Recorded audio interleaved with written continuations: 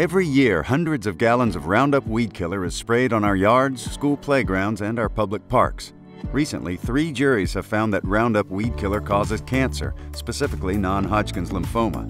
Hundreds of millions of dollars have been ordered to be paid by Monsanto, the company who makes Roundup, for not being honest about the risks. I'm attorney Jason Ochs, and I urge you not to use Roundup weed killer and to help keep safe your loved ones, your neighbors, and your community. This is your Wyoming Health Watch.